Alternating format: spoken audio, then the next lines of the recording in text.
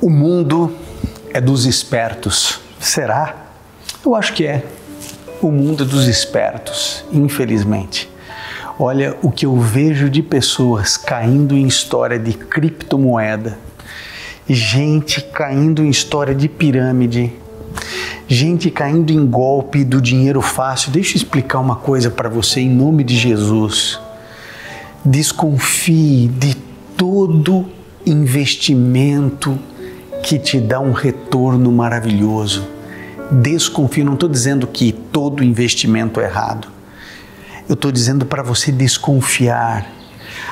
O Cristo vivo, Jesus, ele disse assim: seja simples como as pombas e seja prudente como as serpentes. Uma serpente, ela se camufla, ela observa. Uma serpente, ela está sempre de alguma maneira evitando o problema, ela está sempre se esguiando. Não é assim? Ela ataca quando ela é atacada ou quando ela se sente ameaçada, porque é um animal irracional. Mas a serpente ela é prudente. Ela não fica exposta, não fica vendo cobra todo o tempo. Jesus está dizendo para você ser prudente. O nosso dinheirinho ele é tão suado, é tão difícil. Não existe dinheiro fácil. O dinheirinho que Deus nos dá para manutenção do nosso lar, para abençoar nossos filhos, para poder comprar um presentinho para o esposo, para a esposa. Sabe, aí a pessoa ela fala assim: puxa, todo mundo diz que o dinheiro tem que fazer dinheiro para mim. Né? O dinheiro tem que fazer, eu tenho que fazer, o dinheiro fazer dinheiro, tenho que fazer. E nessa, a chance de a gente errar é absurdamente grande. E quantos amigos e amigas já perderam dinheiro? Alguns pouco dinheiro, outros muito dinheiro. Eu acho que você deve ter acompanhado também aí jogadores de futebol. Né? E é sempre assim, um amigo que indica, e você não confia na empresa, você confia no amigo. O amigo diz, olha, nunca teve problema, deu tudo certo. Olha, comigo sempre deu certo, mas veja bem, veja você aí. Aí você fala assim, bom, mas eu confio nesse amigo. E o amigo está sendo sincero. Só que você precisa entender que os estelionatários, sobretudo agora, né, mais do que nunca os digitais aí, eles sempre vão começar dando rentabilidade, sempre porque eles precisam ganhar tua confiança. Então eles sempre vão cumprir aquilo que eles estão dizendo, sempre vão cumprir, sempre vão cumprir até que eles pegam um grande montante e desaparecem no mapa. E eles olham na sua cara e eles mentem e falam assim: não, eu vou te devolver o teu dinheiro amanhã, amanhã de manhã esse dinheiro está na tua conta. Só que o amanhã chega e não vem, aí você vai ligar para ele, ele vai te atender. Ele vai dizer: Não, eu tive um problema, mas vai cair agora à tarde. Olha, agora à tarde, com certeza. Se tiver um problema, é amanhã de manhã, mas não passa disso, não passa disso. E assim vai. Sabe, o mundo é dos espertos? Eu acho que é, e eu vou te explicar por quê. Abra sua Bíblia agora, aqui no livro de Marcos 8, 36. Marcos 8, 36, Jesus diz o seguinte: Pois que adianta o homem ganhar o mundo inteiro se perder a sua alma? Os espertos ganham esse mundo. Passam a perna, mentem, enganam, manipulam, prometem e não cumprem, fazem propaganda enganosa, vendem gato por lebre, adulteram combustível. Diz que você tem direito do consumidor, que você vai lá, que você vai trocar, quando chega lá na hora de trocar não consegue trocar, uma burocracia sem fim. Você aciona Procon, demora, burocrático. Você tem que estar o tempo inteiro esperto. Você vai comprar alguma coisa no Mercado Livre, na Amazon, você fica lá vendo, será que isso aqui é golpe? Será que isso aqui é desse jeito? Você fica tudo preocupado. O mundo, esse mundo, é verdade, esse mundo é dos espertos. Mas eu e você não somos espertos, nós somos filhos do Deus vivo. O que acontece é que eles podem ganhar o mundo, mas de que adianta eles ganharem o mundo se eles perderem a alma deles? De que adianta? Jesus advertiu tanto a respeito de Mamon, que era o Deus do dinheiro, cuidado para você não ser escravizado.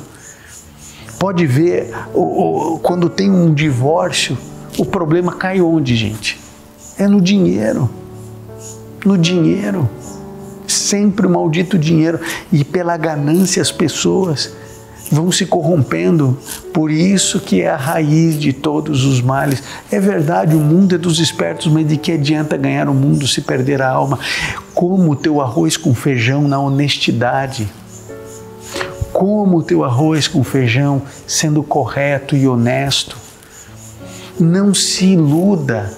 Não, não embarque nessa, talvez eu esteja falando agora aqui no Bom Dia Jesus para um estelionatário que está ainda orando, pedindo que Deus não permita que vá para a cadeia. Pelo amor de Deus, não use o dinheiro dos outros, não administre o dinheiro dos outros. Você sabe que está errado, você sabe que o que você está fazendo é maligno. Pare de fazer isso agora. E você que é um cristão, que é uma cristã, ponha na sua mente: não existe é, investimento que vai te dar 5% ao mês, 10% ao mês, 7% ao mês, que seja seguro.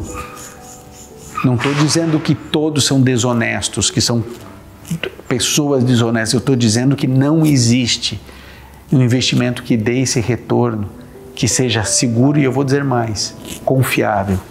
Desconfie, desconfie, porque o teu dinheirinho é bênção de Deus e é suado. Então cuide, cuide. Sabe, eu fico muito feliz de ter você aqui. Se você tem um pedido de oração, deixe aqui nos comentários. Permita que esse ministério ore, interceda por você. A gente está aqui todos os dias, né? 15 para as 6 da manhã aqui no YouTube. Ivan Saraiva 7 já é mandado.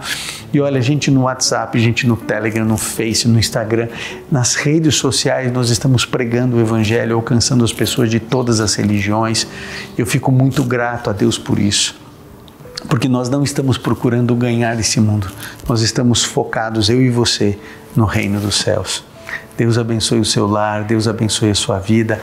Olha, no domingo nós tivemos o primeiro encontro de pais cristãos e ali foi feito uma, uma convocação para um projeto de um ano de intercessão, de educação de filhos, de orientação psicológica, sociológica, filosófica, espiritual. Olha, é uma proposta extraordinária, é um projeto que já Muitas pessoas estão aderindo, muitas centenas de pessoas estão aderindo, e eu queria que você assistisse esse primeiro encontro. Você que está sempre falando, não, eu vou assistir, eu vou assistir, nunca assiste, pois é, assista, hoje é o dia.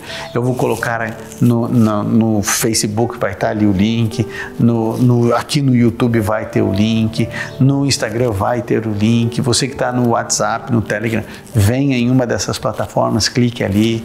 Tá no YouTube, é só você colocar. Se você entrar no YouTube e colocar primeiro encontro de pais cristãos, você vai encontrar ali.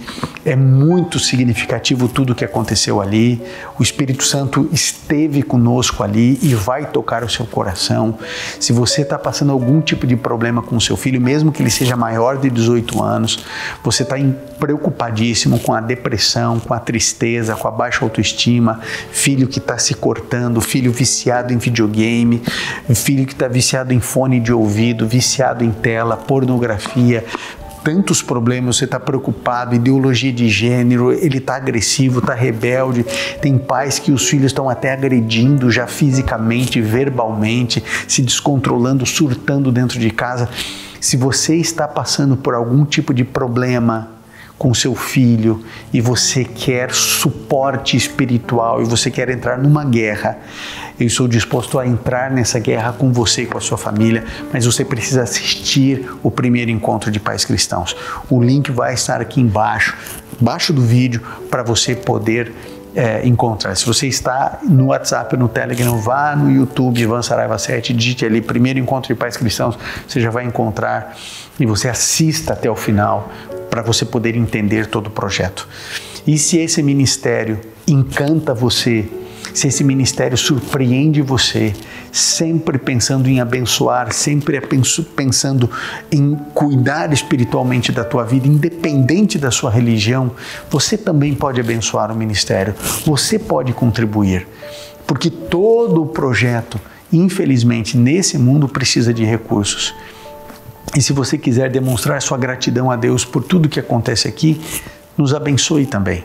A chave Pix sempre aparece aqui para você, que é ministérioivansaraiva.gmail.com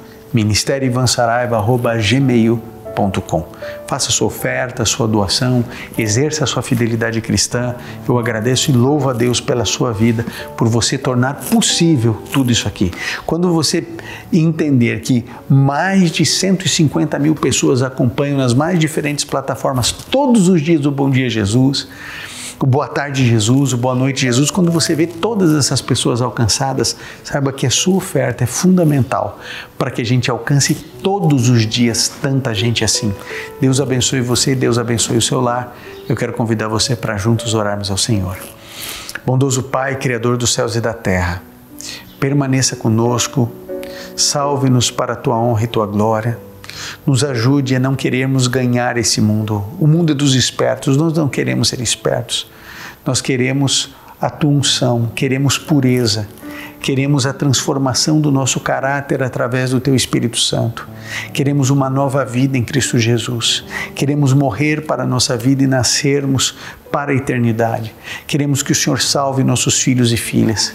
Pai, eu oro mais uma vez. Se alguém aqui não assistiu o primeiro encontro de pais cristãos, toca, sensibiliza o coração desse pai, porque talvez a transformação de uma vida, um novo capítulo na vida, pode começar a partir dali. Por isso, ó Deus, toca essa vida, toca esse coração. Entregamos a nossa vida, entregamos tudo a Ti, Senhor. Fica conosco e nos abençoe nesse dia, em nome de Jesus. Amém. Querido Deus abençoe você, Deus abençoe sua vida. Vou colocar o card enorme aqui para quem está no YouTube. O card enorme é só clicar no primeiro encontro de pais cristãos. Um grande abraço a você, que Deus continue ao teu lado e jamais se esqueça. Deus é a sua força e fortaleza e é Ele quem desembaraça perfeitamente o seu caminho.